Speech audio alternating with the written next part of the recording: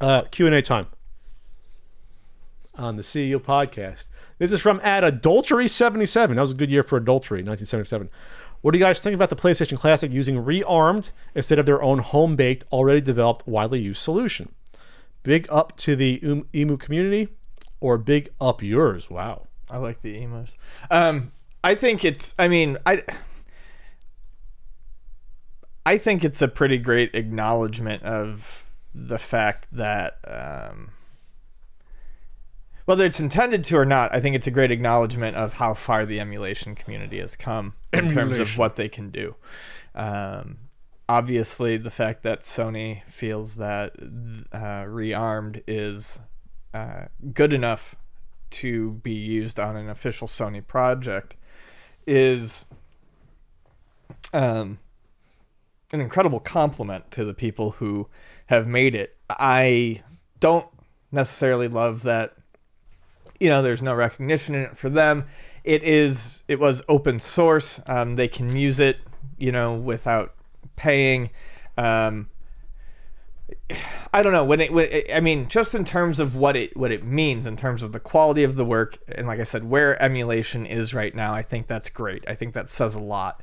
Uh, in terms of the murkier stuff, in terms of you know Sony not doing that legwork themselves, Sony not bringing someone on from that project and paying them, um, Sony you know not recognizing them, it- basically Sony not, I guess, pitching in. Uh, that that I don't I don't like so much, but I do think it's uh, you know it's uh, it's an incredible thing that Well, is you it- know, is an it better- open source community. It's probably better did. than what they have in house, then, right? Oh, it has to be. Yes, 'Cause it it's is. constantly being worked What. I'm saying is, though, the fact that they couldn't, you know, bring someone on from those projects and make them something. make them something extra versus You know, have them make an official, uh, an official port of it or something. Pay something, pay them something for the work.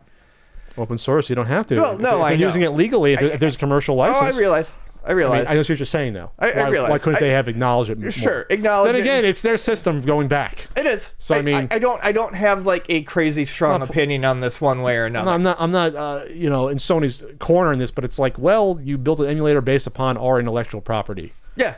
No, So- I, I, I, I don't have like a crazy strong feeling about it. I think it's cool that they're using one and that the people who do this are putting out something better than what Sony even feels like they could do. Um, and I'm big on open source, but there are times I feel like where it would be nice for those people to get a little bit more recognition Yeah. than not. That's see, all. see some commentator some commentators have already attacked Sony for laziness by piggybacking off their off the work of the open source community rather than coding a new official. Em- why would you need a new official emulator though? Like why would you need one unless you can do it better? Who says you can do it better? Maybe you can't Right. do it better. You know, uh, Frank Cifaldi has sees the move as an acknowledgement that an amateur emulator can be just as valid as an official one. Of course Yeah.